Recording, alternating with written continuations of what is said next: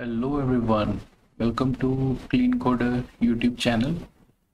So if you haven't subscribed my channel till now, please subscribe my channel as I make these interview style uh, tutorial for LeetCode problems very frequently. So today we are going to solve this LeetCode problem number 189, rotate array. So for the problem statement, let's refer the LeetCode website only. So we are given an array, we are supposed to return the array to the right by k steps where k is non-negative. Okay. So let's check the example number one. We are given a nums array and k is 3 and we are supposed to right rotate this by three positions. So what would happen is like uh, once you will rotate then 6 would come here, 5 would come here like this and 7 would come at first position second time you rotate 7 would come to second position third time you rotate 7 would come to third position. So 7 should be here. So this is reflected in the output so this is this he has shown in the rotation also in the explanation part. So this is the example one. Example two you are you can go through on your own for better clarity. Let's check the constraints. Array length is between 1 to 10 to power 5 and individual elements are like negative 2 to raised to power 31 to raised to power 31 minus 1 so they are in the integer range. And the parameter k is between 0 to 10 to power 5 okay. So 10 to power 5 is a really really great like really really large value. If array length is let's say 3 and 10 to power 5 is the value of k then uh, you need to like do some kind of work to map the value of k to some equivalent lower value. That i'll tell you how you can do using modulus operator. So let's check the follow-up comments. So what he has mentioned is try to come up with as many solutions as you can. And there are at least three different ways to solve this problem. Okay he is giving us hints. And could you do it in place with O of one extra space? We are going to try this. So let's uh, start this on our whiteboard okay so like as i have told this is the input array and they'll give us some uh, value and we are supposed to uh, rotate the array by that much position. So let's move to the uh, next slide to check our first strategy which you can use to uh, uh, rotate this uh, array elements towards the right. So the first approach which you can use is use uh, nested loops and moves element one by one to right. So the time complexity in this case would be O of n into k and space complexity would be O of 1.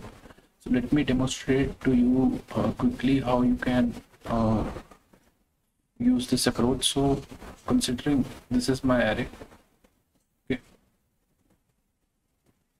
Let's say there are four elements in this array. Let's take five.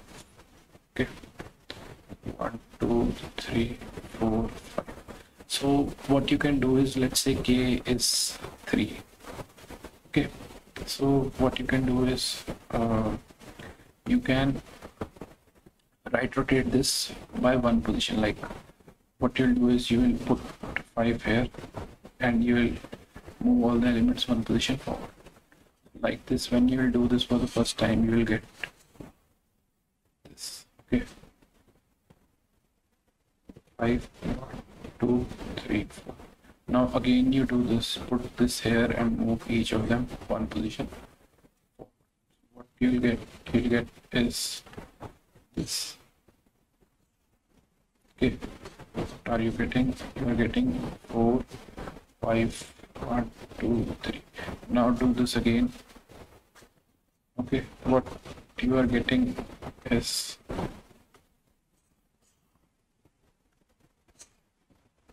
we're getting this right. Three four five one. So like the number of iterations in this case are k right? These are k iterations.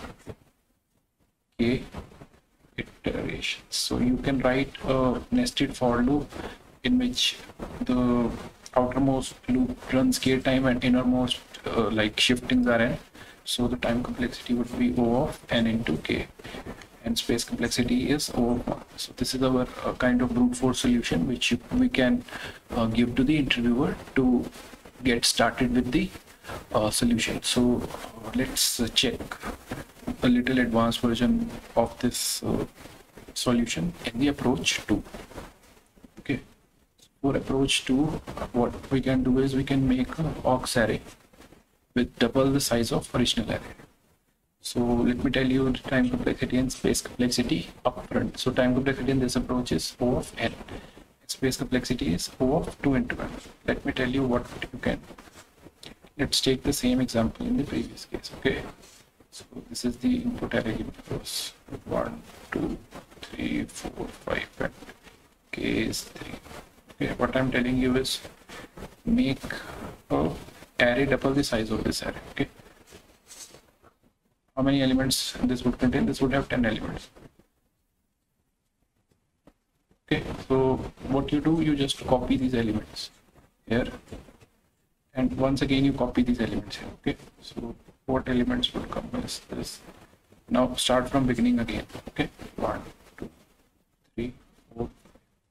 So let's say he has told you to right rotate this by k okay right rotate this by k.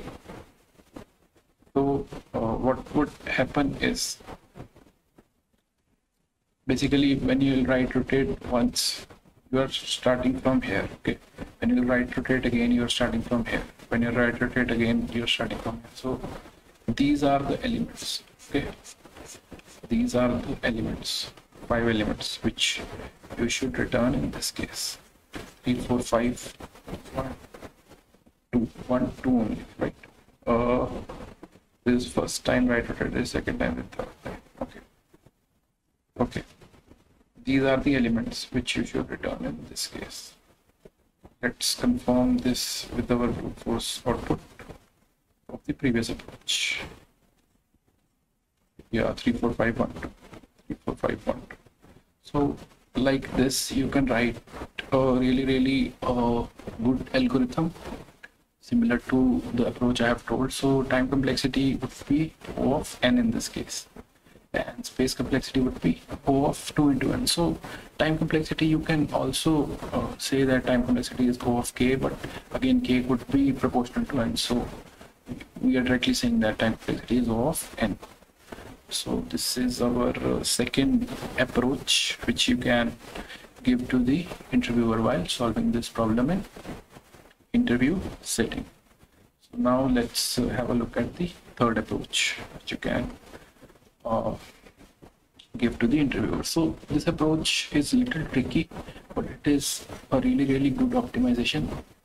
So the first brute force approach, our time complexity was uh, O of n into k, like O, and, o of O of n square roughly, and space complexity was O of 1. So in the second approach, we did better. Our time complexity was O of n, and space complexity was also O of 2n, which is as good as O of n. In the third approach, we are going to do something more better, and we are going to take the time complexity to O of n and space complexity to O of 1 okay complexity to O of 1 let's see what this algorithm says and then we'll try and also for better understanding. Step 1 of this algorithm says rotate key elements from the end of the array. So from end rotate key elements. This is step 1 and then there is step 2 rotate the rest of elements from starting and leaving last k elements okay? The elements which you have rotated in step 1 you need to leave those elements now let's check the step 3 rotate complete array. Okay these three rotations you know you need to complete. So let's check the time complexity. Time complexity is O of n in this approach and space complexity is O of 1 so let's just check. Like assuming this is the first test case which is given to us as example. So this is the input array and k is given to be 3 assuming this. So what you do you write you rotate these three rightmost elements. So these elements you just rotate. So what would happen? Once you rotate these three elements what would be the output? Output would be 7 6 5 okay write this here. So what you do now is this step one this is step two this step three. okay in step two what you do you leave these elements three elements and you uh, rotate these four elements from the beginning okay? What would be the output output would be four three two okay? Our step one is complete step two is complete. Now what we need to do is we need to rotate this complete array okay? Let's do that rotation also output in that case would be 5 6 7 1 2 3 4 let's confirm this from the uh, sample input given sample input output given. Mm, 5 6 7 1 2 3 yeah that is correct. Okay 5 6 7 1 2 3 4 so this is the correct output. So uh, now you will argue like how we logically reached to do this algorithm like this i would say is a little tricky but once you take certain examples and uh, you convince yourself that this always gives the correct answer like you will appreciate this logic as it is the most optimized solution and really really easy to understand. So once these three steps are accomplished we will get the output for this uh, problem. So now let's move to the code walkthrough part, like the code which I have submitted for this input problem for better understanding. So this is the code which I used to submit. Now I'll walk you through step by step. So this is the rotate function, the input array, this is k. Okay, k positions on the right we need to make rotation. So if array dot length is one, one length array can't be rotated like it's already rotated by any positions k. So we are directly returning in that case.